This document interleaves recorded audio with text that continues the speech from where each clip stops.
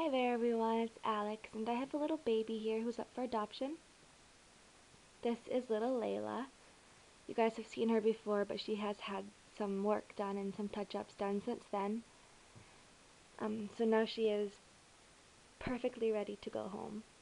Um, I'm just going to run over, show you guys um, what she looks like now. So she has um, rooted caramel brown colored mohair.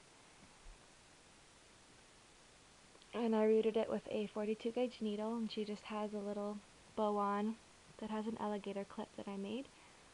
I'm not sure how well um, everything's showing up. I am using my camera but I know it's not the best but her little arm. I hope that you guys can see everything. But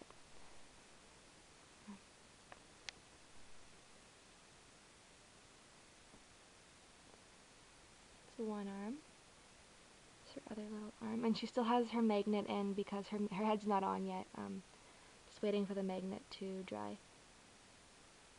And I'll pop her head on.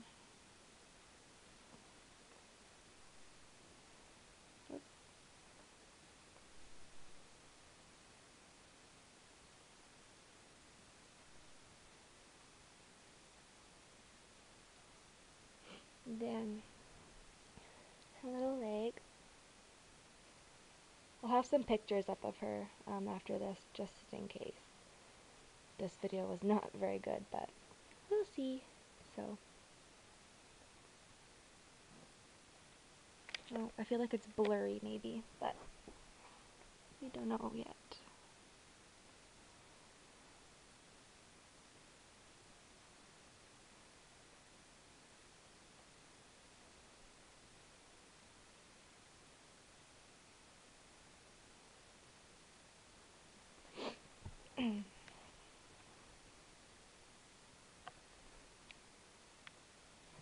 and then her little face.